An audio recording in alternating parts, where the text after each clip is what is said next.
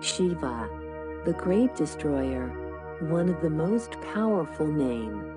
Shiva means he one who doesn't exist, but because of his presence the universe exists.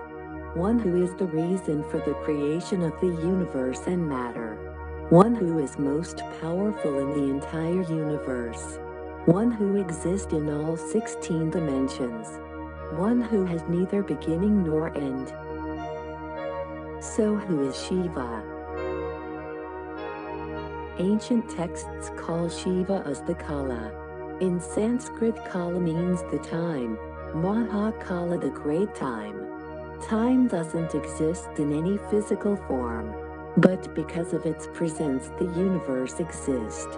It is one which is the reason for the creation of the universe. Energy and the matter are the functions of time. Time exists in all the known dimensions. Time has no beginning. And above all that, the time is the greatest destroyer. Shiva means nothing but the constant flow of eternal time, which governs the whole universe.